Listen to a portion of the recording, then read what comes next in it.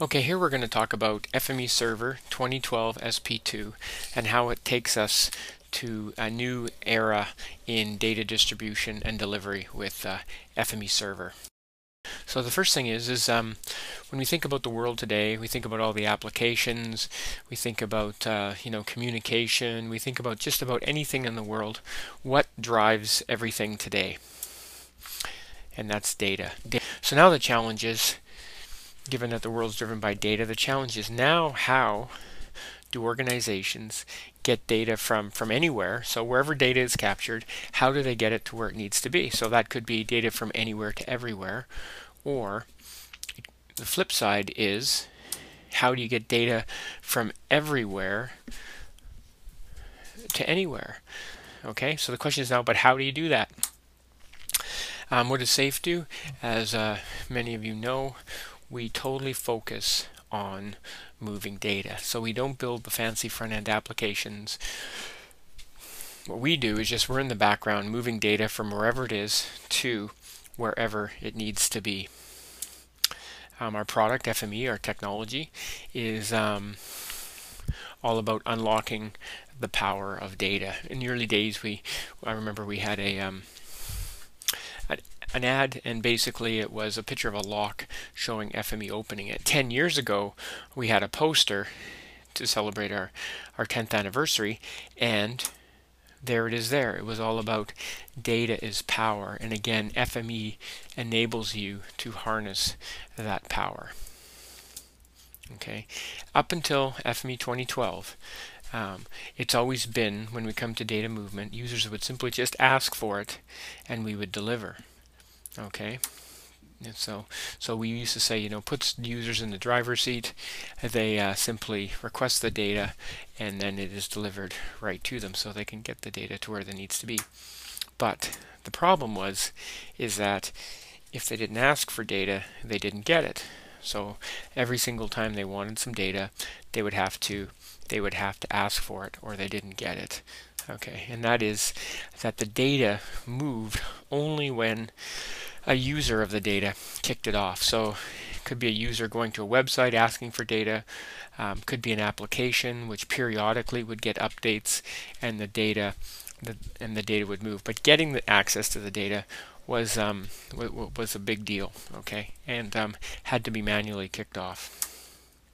Okay, so for example, in data distribution, a user would ask for data, get the data, but the user had no idea where um, when new data was available. From a data provider standpoint, they would have a historical um, knowledge of where people ask for data, but uh, history isn't always the best way to know where users are going to want data in the future. You know, ideally, users would not want to know where users are interested in data now, and then they would work to be able to serve those users the best way they could. Some other capabilities of uh, this traditional FME server workflow. Um, loading and validating data. We have some organizations that have built QA QC services online to support their workers in the field. Working with large volumes of data, of course, databases are getting bigger and bigger. And in order to uh, work with those large volumes of data, you need to use FME to get it into systems or get it out of systems. Um, applying updates to data, many organizations now will get data update records, and um, FME can work with those. Of course, one of the big things that people use FME Server for now is scheduling tasks. Um, so they might have a bunch of workspaces in their organization. They want to easily automate that by having a scheduled task that'll execute workspaces. And again, FME Server enables you to do that. Um, automated workflows. Um, again, this whole ability uh, with FME Server to have a central place where you put all your workspaces and then you can control when particular workspaces are run. About everything we know about data movement and focus on a new way that FME 2012 SP2 server enables you to move data. Power of notification services and the subscription model, users will basically subscribe to data and get the data they want as soon as it's available. With FME Server 2012 SP2, now the entire workflows can be event driven, okay? And the world of real time. So now it's not things aren't done at the time users request them. Data is moved when the event happens. So we're into this real-time data movement. So this really enables us to handle lots of different things. Sensors, we can support sensors. We can push data when an event happens to all those who want that data. And we can perform complex event processing as well. Okay, so in this system, there's two types of users. There's a data subscriber, i.e. that's the person or persons who actually want data. So what they do is they basically register for the data they can register for the, the type of data they want. They can register for the area they're interested in. And when that particular type of event in the area they're registered in happens, they can get notified. They can get notified in a number of different ways. Email, which is amazingly valuable um, in this model. Twitter, SMS, um, a web app could be a subscriber, could be sent to a mobile phone. So a subscriber doesn't necessarily have to be a person. It could be, it could be a system or a device. Okay, similarly in the data reporter, how are things reported? It Could be a sensor generating the report, could be an email, um, and in fact there's a earthquake service that is one of the first things that's going to happen when an earthquake is detected. Emails are blasted out. Why emails? Emails are well understood. And it's easy for users to handle emails as well as um, as systems. Since it's generated by a machine, parsing that email is very, very simple. Okay, so obviously data people can report things through email, through their sensors, through mobile phones, through web apps, through many different other ways um, to get data into the system. So whenever an event happens, a user reports it, lots of things happen. Okay, the, the subscriber, of course, he doesn't worry about anything other than he is going to get notified and told when this new data is available. He simply registers, he says, I'm interested in this over here, and when it happens, he will get um, told. Okay, and then notifications are pushed to him. He doesn't have to check for data. In the old model, when a user wanted updated data, the latest data, he'd go to a website or go somewhere, ask for the latest data, and get the latest data. Now, in this new model, as soon as it happens, the user is going to get the most up-to-date data. Okay, the data reporter, his task also is simplified. He simply collects the data, reports it as it happens. So when an event happens, a data report happens, and the data is automatically disseminated to the people who want it. The data reporter doesn't know and really probably doesn't care who is getting it. His whole focus is on just simply reporting the data. And again, this could be a sensor. Okay. Okay, so how are these alerts automatically sent to subscribers? Okay, that's through, you guessed it, FME server. So imagine the subscriber workflow. Here's the subscriber interface that we put together. Okay, nice demo app. User goes to this URL, enters their email address, identifies the area of interest that they want to be notified about, um, specifies a subscription period, um, draws an area on the on the map, um, indicates whether they want to be inside or outside, um, and that's important. Um, inside means that any event inside the area will trigger. So maybe, you know, there's an area around your live, and obviously you want to know if there's lightning strike within your area. Outside's interesting for different reasons. You might have somebody or some truck or something that you want to be noticed only when it goes outside of a permitted area. Could indicate a truck being hijacked or or some driver taking it somewhere where he's not supposed to. And um, again, alerts can be would be generated only when, in that case, the person or truck went outside their allowed area. Okay, on the reporter side, here's another web page. enables users to do is to very interest reporters to do is to very easily generate a, an alert. So they would simply go on the map and they would generate excuse me an event and it would be posted to the server and all the subscribers would would get an email with where that event was and um, and the information, all the information about the event. Okay, okay, okay, but wait, there's more. Okay, so what we've shown so far is this ability of FME server to send email. Okay, that was there before in 2012. The ability of FME server to um, you know, interact with web-based interfaces so I can generate an event and register for events on the web. That was there before. In SP2 though, we've added something else. We've added this ability for FME server to accept emails. Okay, so what this enables us to do is now from any mobile device, a user can take a photo, mail it to the topic, okay? And we're not going to get into what topics are, but but imagine that's being an event type. Every event type could could be associated with a topic. And this one I have one called photo. If you mail a photo from a geo tagged device to that email there, that's where the servers um, installed, dondemo.safe.com. If you take a photo on your smartphone, mail it to there, you will get an email back telling you that this uh, the uh, event has been logged. But anybody who's registered in that area, subscriber, will also get an alert saying, "Hey, there was a photo taken in this area." They're also going to get a map with with a pinpoint on it.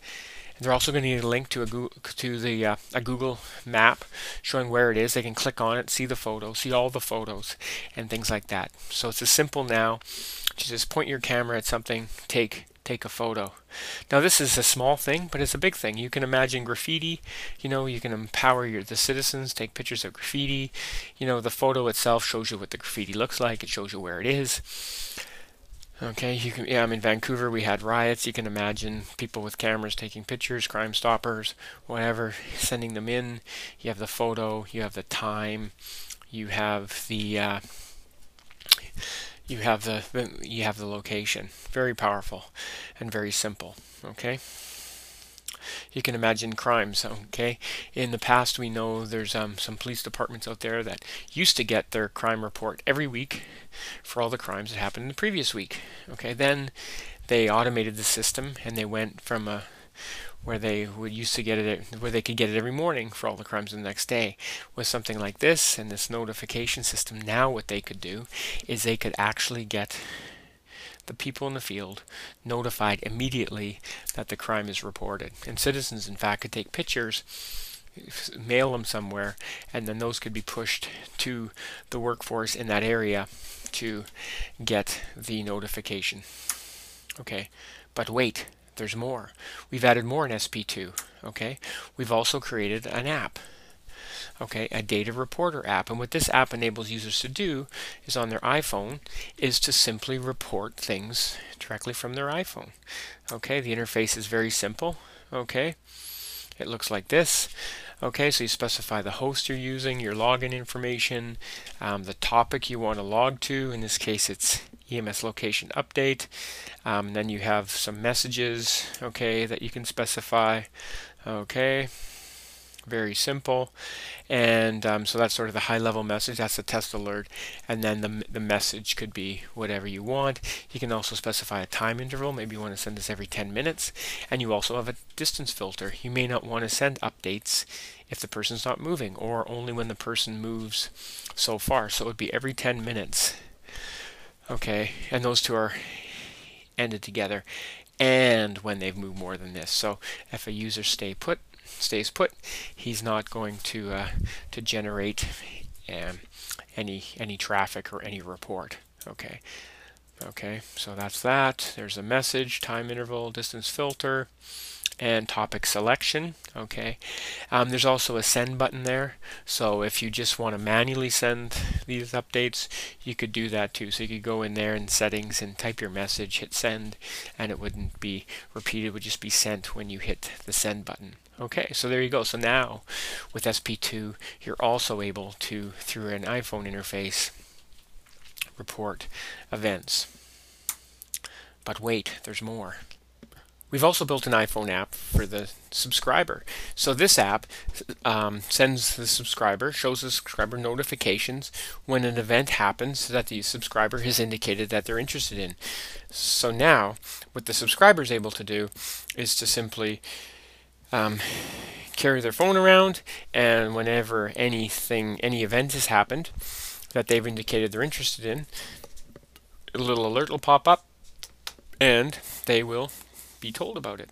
Okay, so this just shows um, how that works.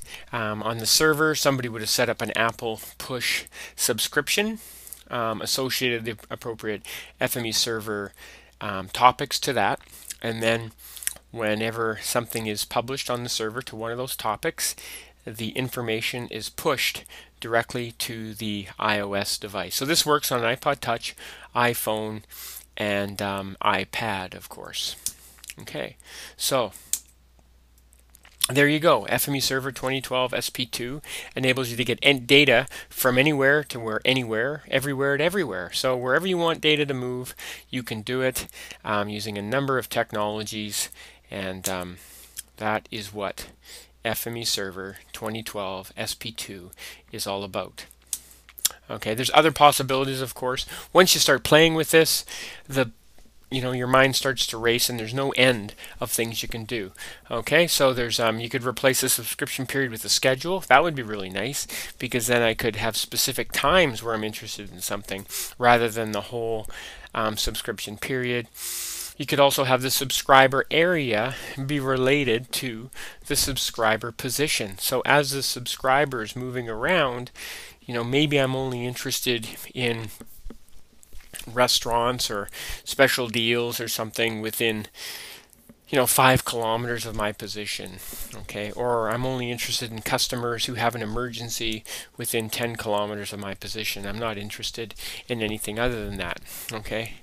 And um, or alerts could also because on the back end you have FME server doing the complex event um, processing the alerts could be anything. They could maybe an alert only happens when a certain number of people of interest get within each other. So maybe you're worried about um, you know the health of your road crew, and when you know a bunch of them get together at a donut shop, you're you know you're concerned about their health or something like that. Could happen. And um, but anyway, the point is is that um, whatever you can imagine is really uh, possible. The other thing I want to mention is that I didn't write a single line of backend code.